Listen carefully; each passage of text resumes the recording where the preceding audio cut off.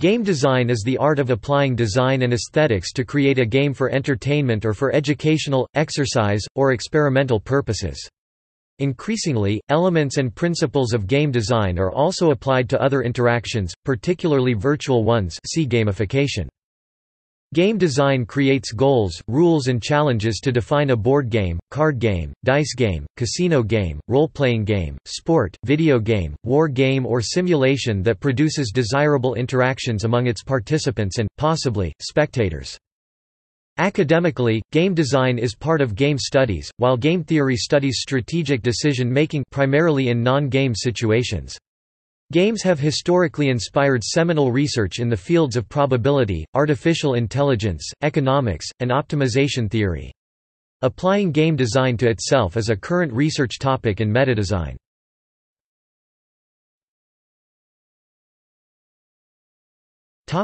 History Sports see History of sports, gambling, and board games are known, respectively, to have existed for at least 9,000, 6,000, and 4,000 years.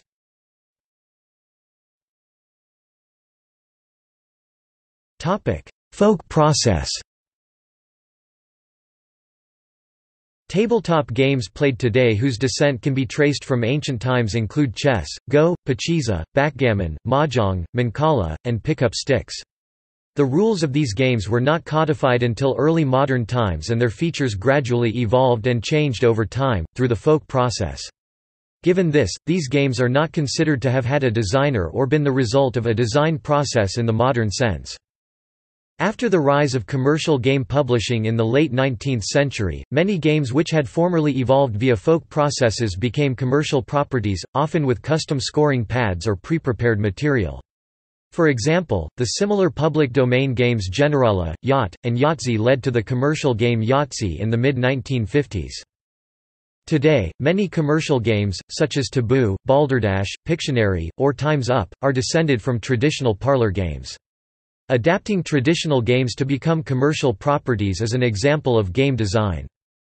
Similarly, many sports, such as soccer and baseball, are the result of folk processes, while others were designed, such as basketball, invented in 1891 by James Naismith.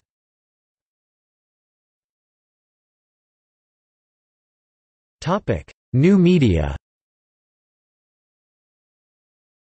Technological advances have provided new media for games throughout history. The printing press allowed packs of playing cards, adapted from mahjong tiles, to be mass-produced, leading to many new card games. Accurate topographic maps produced as lithographs and provided free to Prussian officers helped popularize wargaming. Cheap bookbinding printed labels wrapped around cardboard led to mass-produced board games with custom boards. Inexpensive hollow lead figurine casting contributed to the development of miniature wargaming. Cheap custom dice led to poker dice. Flying discs led to disc golf and ultimate. Personal computers contributed to the popularity of computer games, leading to the wide availability of video game consoles and video games. Smartphones have led to a proliferation of mobile games. The first games in a new medium are frequently adaptations of older games. Pong, one of the first widely disseminated video games, adapted table tennis. Later games will often exploit distinctive properties of a new medium. Adapting older games and creating original games for new media are both examples of game design.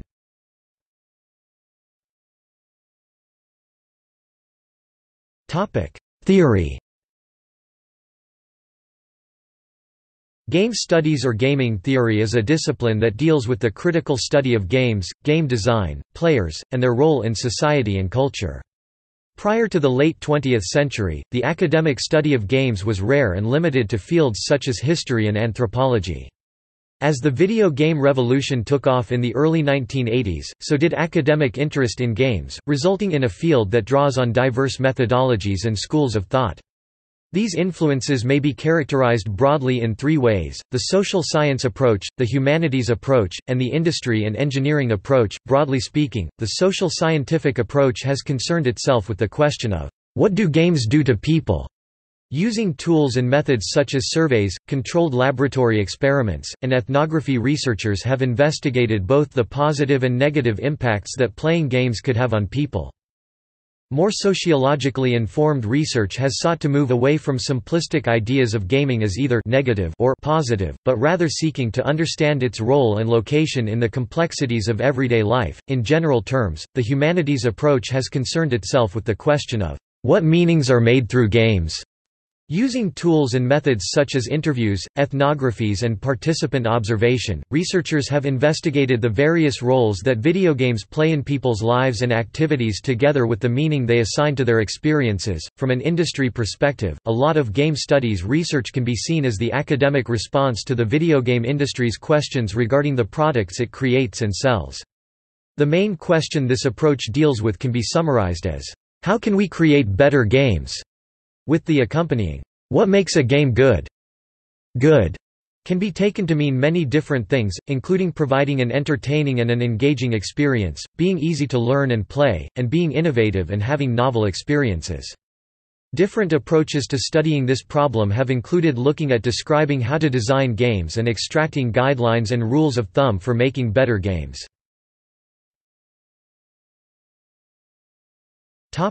Strategic decision Game theory is a study of strategic decision-making. Specifically, it is the study of mathematical models of conflict and cooperation between intelligent rational decision-makers." An alternative term suggested, as a more descriptive name for the discipline, is interactive decision theory. The subject first addressed zero-sum games, such that one person's gains exactly equal net losses of the other participant or participants. Today, however, game theory applies to a wide range of behavioral relations, and has developed into an umbrella term for the logical side of decision science. The games studied in game theory are well-defined mathematical objects. To be fully defined, a game must specify the following elements, the players of the game, the information and actions available to each player at each decision point, and the payoffs for each outcome. Rasmusen refers to these four essential elements by the acronym PAPI. A game theorist typically uses these elements, along with a solution concept of their choosing, to deduce a set of equilibrium strategies for each player such that, when these strategies are employed, no player can profit by unilaterally deviating from their strategy. These equilibrium strategies determine an equilibrium to the game—a stable state in which either one outcome occurs or a set of outcomes occur with known probability.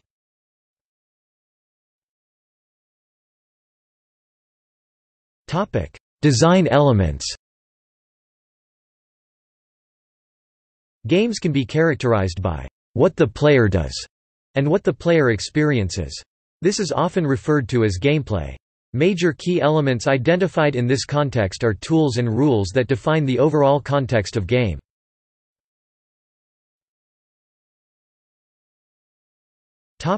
Tools of play Games are often classified by the components required to play them e.g. miniatures, a ball, cards, a board and pieces, or a computer. In places where the use of leather is well established, the ball has been a popular game piece throughout recorded history, resulting in a worldwide popularity of ball games such as rugby, basketball, football, cricket, tennis, and volleyball. Other tools are more idiosyncratic to a certain region. Many countries in Europe, for instance, have unique standard decks of playing cards. Other games such as chess may be traced primarily through the development and evolution of its game pieces. Many game tools are tokens, meant to represent other things. A token may be a pawn on a board, play money, or an intangible item such as a point scored. Games such as hide and seek or tag do not utilize any obvious tool, rather, their interactivity is defined by the environment. Games with the same or similar rules may have different gameplay if the environment is altered. For example, hide and seek in a school building differs from the same game in a park. An auto race can be radically different depending on the track or street course, even with the same cars.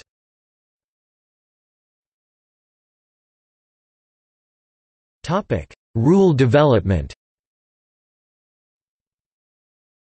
Whereas games are often characterized by their tools, they are often defined by their rules. While rules are subject to variations and changes, enough change in the rules usually results in a new game. There are exceptions to this in that some games deliberately involve the changing of their own rules, but even then there are often immutable meta-rules. Rules generally determine turn order, the rights and responsibilities of the players, each player's goals, and how game components interact with each other in to produce changes in a game's state. Player rights may include when they may spend resources or move tokens.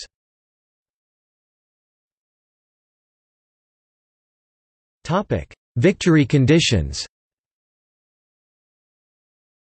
Common win conditions are being first to amass a certain quota of points or tokens as in Settlers of Catan, having the greatest number of tokens at the end of the game as in Monopoly, some relationship of one's game tokens to those of one's opponent as in Chess's Checkmate, or reaching a certain point in a storyline as in most roleplay games.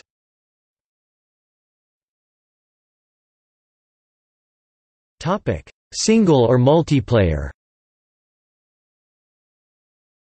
Most games require multiple players. Single-player games are unique in respect to the type of challenges a player faces.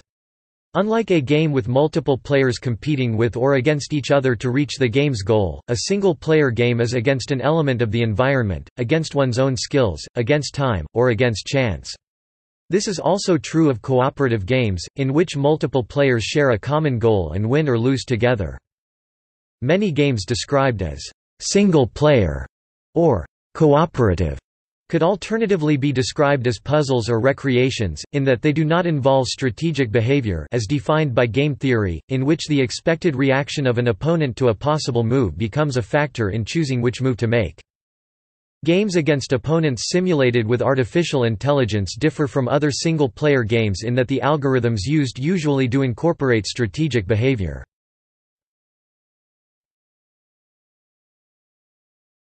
Storyline and plot Stories told in games may focus on narrative elements that can be communicated through the use of mechanics and player choice. Narrative plots in games generally have a clearly defined and simplistic structure. Mechanical choices on the part of the designers often drastically affect narrative elements in the game. However, due to a lack of unified and standardized teaching and understanding of narrative elements in games, individual interpretations, methods, and terminology vary wildly. Because of this, most narrative elements in games are created unconsciously and intuitively. However, as a general rule, game narratives increase in complexity and scale as player choice or game mechanics increase in complexity and scale. One example of this is removing a player's ability to directly affect the plot for a limited time. This lack of player choice necessitates an increase in mechanical complexity, and could be used as a metaphor to symbolize depression that is felt by a character in the narrative.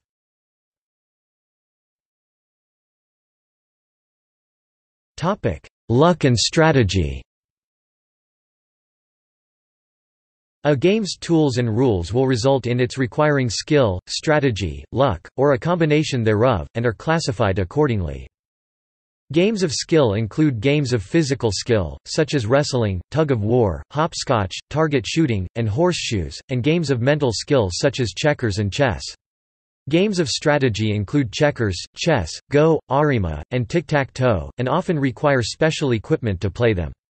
Games of chance include gambling games blackjack, mahjong, roulette, etc., as well as snakes and ladders and rock, paper, scissors, most require equipment such as cards or dice.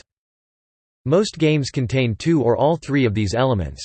For example, American football and baseball involve both physical skill and strategy while Tiddlywinks, poker, and Monopoly combine strategy and chance.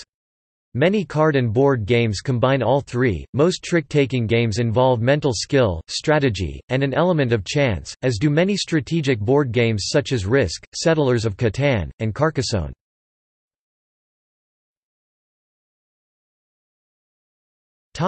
Use as educational tool. By learning through play children can develop social and cognitive skills, mature emotionally, and gain the self-confidence required to engage in new experiences and environments.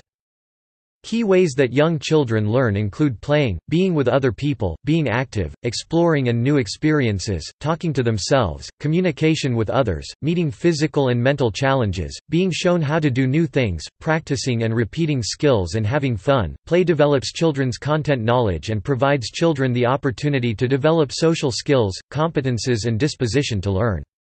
Play-based learning is based on a Vygotskian model of scaffolding where the teacher pays attention on specific elements of the play activity and provides encouragement and feedback on children's learning. When children engage in real-life and imaginary activities, play can be challenging in children's thinking. To extend the learning process, sensitive intervention can be provided with adult support when necessary during play-based learning.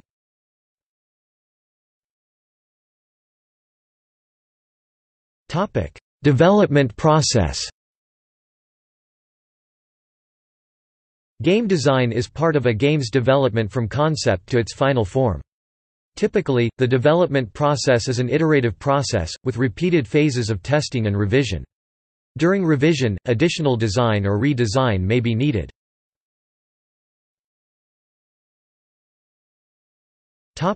Development team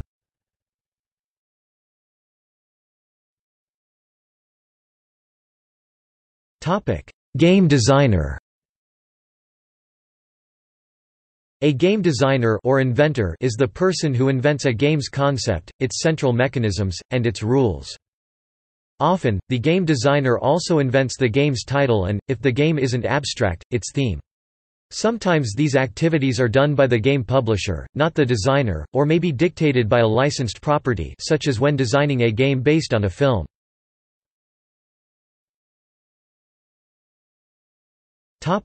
Game developer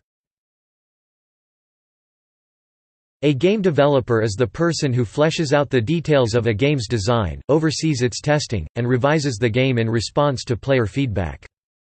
Often the game designer is also its developer, although some publishers do extensive development of games to suit their particular target audience after licensing a game from a designer.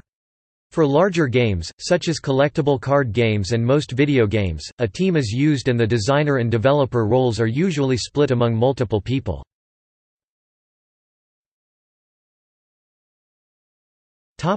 Game artist. A game artist is an artist who creates art for one or more types of games. Many graphic elements of games are created by the designer when producing a prototype of the game, revised by the developer based on testing, and then further refined by the artist and combined with artwork as a game is prepared for publication or release. For video games, game artists are responsible for all of the aspects of game development that call for visual art. Game artists are often vital to and credited in role-playing games, collectible card games and video games.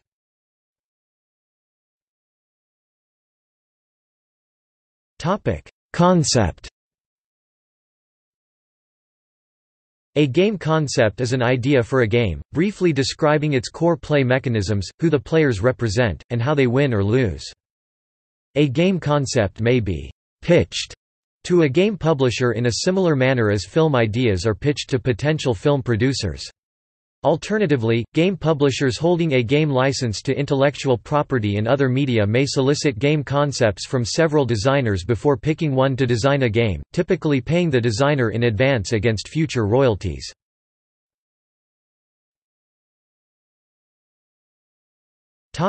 Design During design, a game concept is fleshed out. Mechanisms are specified in terms of components boards, cards, on-screen entities, etc. and rules. The play sequence and possible player actions are defined, as well as how the game starts, ends, and what is its winning condition. In video games, storyboards and screen mockups may be created.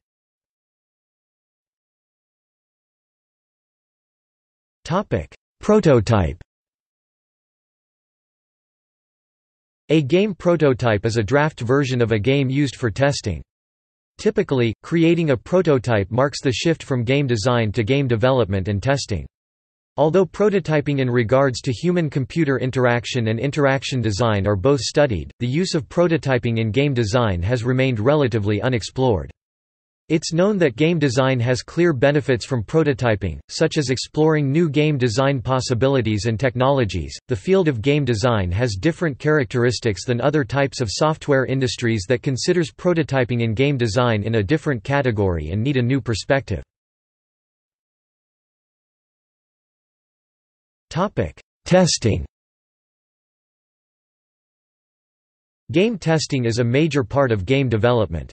During testing, players play the game and provide feedback on its gameplay, the usability of its components or screen elements, the clarity of its goals and rules, ease of learning, and enjoyment to the game developer.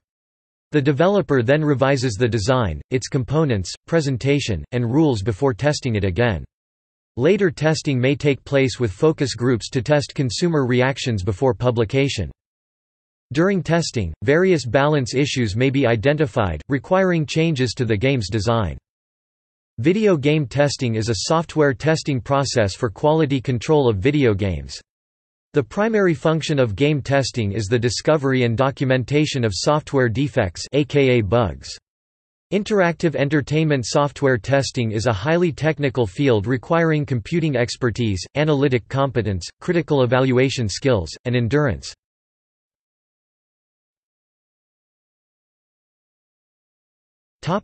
Issues Different types of games pose different game design issues.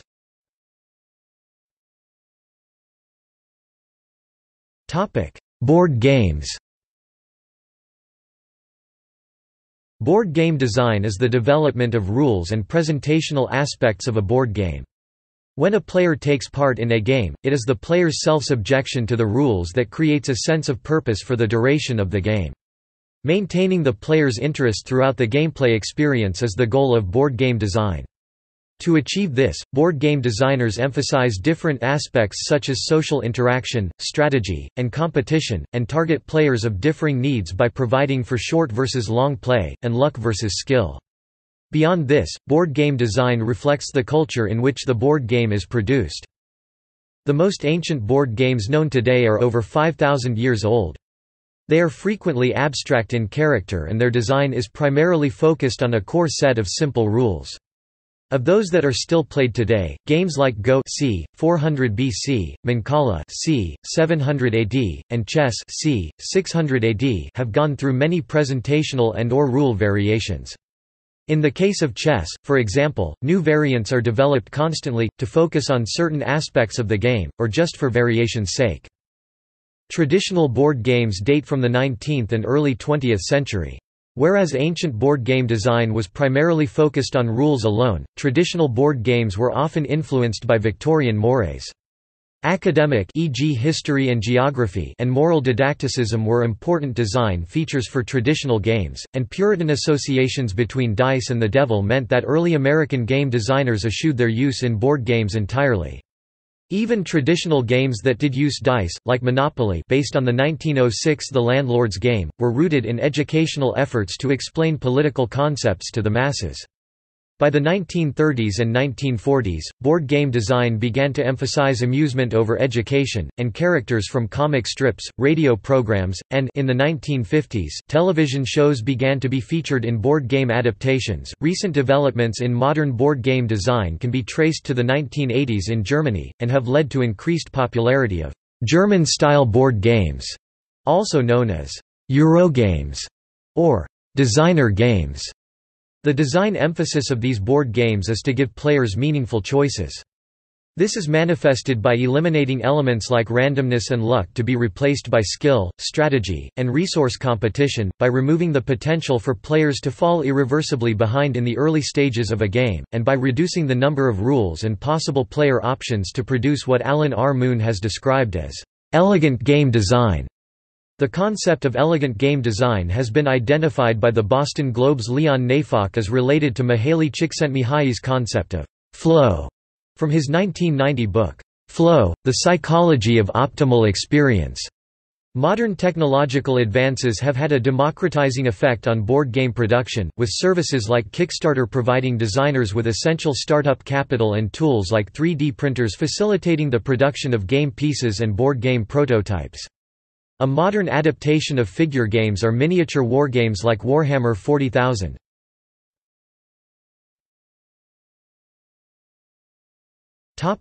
Card games Card games include games with cards that are custom-tailored to the game, as in many modern games, as well as those whose design is constricted by the type of the deck of cards, like tarot or the four-suited Latin decks. Card games can be played for fun, such as Go Fish, or as gambling games, such as poker. In Asian cultures, special sets of tiles can serve the same function as cards, as in mahjong, a game similar to and thought to be the distant ancestor of the Western card game rummy. Western dominoes games are believed to have developed from Asian tile games in the 18th century.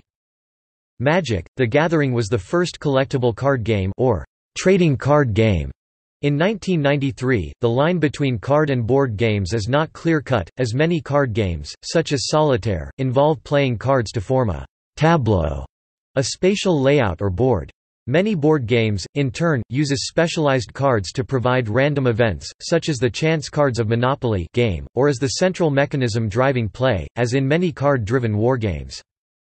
As cards are typically shuffled and revealed gradually during play, most card games involve randomness, either initially or during play, and hidden information, such as the cards in a player's hand. This is in contrast to many board games, in which most of the game's current state is visible to all participants, even though players may also have a small amount of private information, such as the letter tiles on each player's rack during Scrabble. How players play their cards, revealing information and interacting with previous plays as they do so, is central to card game design. In partnership card games, such as bridge, rules limiting communication between players on the same team become an important part of the game design. This idea of limited communication has been extended to cooperative card games, such as Hanabi.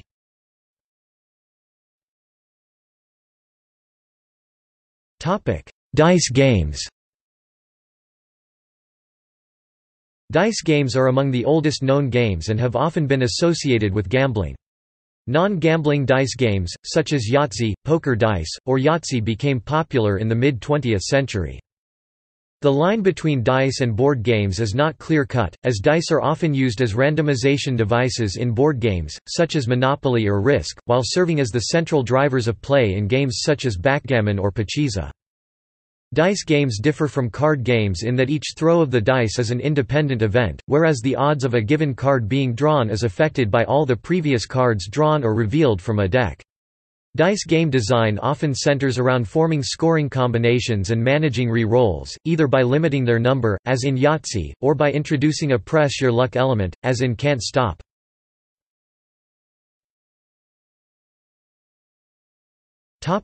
Casino games Casino game design can entail the creation of an entirely new casino game, the creation of a variation on an existing casino game, or the creation of a new side bet on an existing casino game. Casino game mathematician, Michael Shackleford has noted that it is much more common for casino game designers today to make successful variations than entirely new casino games. Gambling columnist John Grochowski points to the emergence of community-style slot machines in the mid-1990s, for example, as a successful variation on an existing casino game type. Unlike the majority of other games which are designed primarily in the interest of the player, one of the central aims of casino game design is to optimize the house advantage and maximize revenue from gamblers. Successful casino game design works to provide entertainment for the player and revenue for the gambling house. To maximize player entertainment, casino games are designed with simple easy-to-learn rules that emphasize winning i.e. whose rules enumerate many victory conditions and few loss conditions, and that provide players with a variety of different gameplay postures e.g. card hands.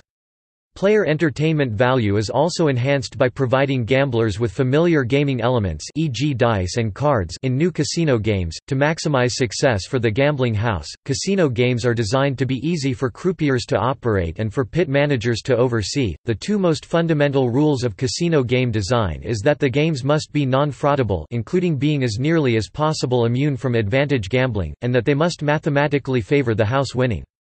Shackleford suggests that the optimum casino game design should give the house an edge of smaller than 5%.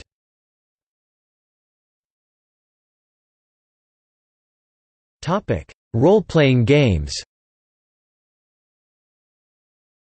The design of role-playing games requires the establishment of setting, characters, and basic gameplay rules or mechanics. After a role-playing game is produced, additional design elements are often devised by the players themselves.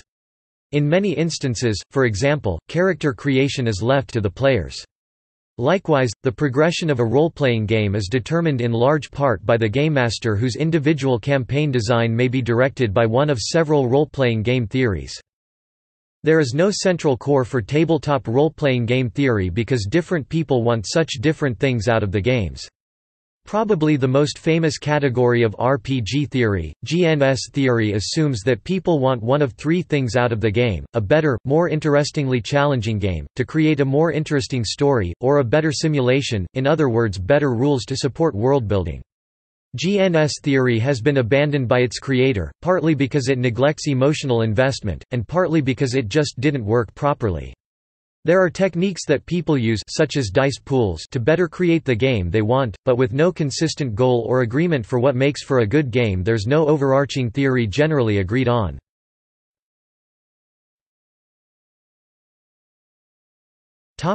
Sports Sports games are made with the same rules as the sport the game portrays.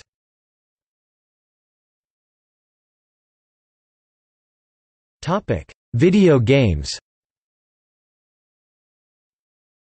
Video game design is a process that takes place in the pre-production phase of video game development.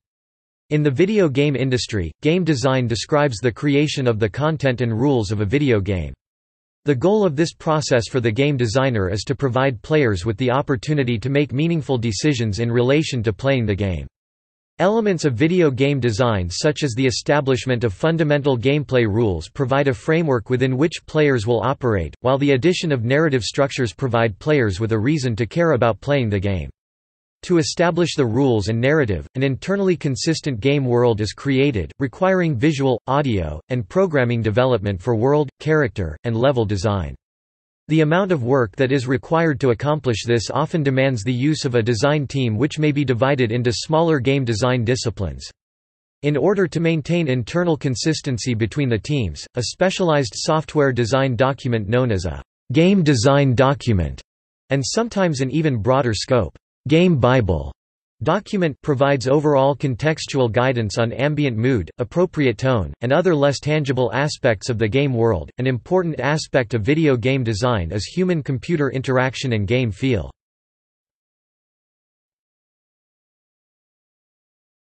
Topic: War games. The first military war games, or Kriegsspiel, were designed in Prussia in the 19th century to train staff officers. They are also played as a hobby for entertainment.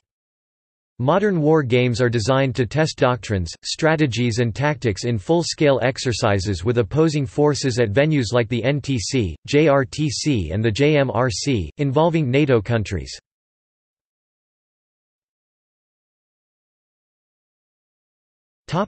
See also Gamification Play activity Video game design Notes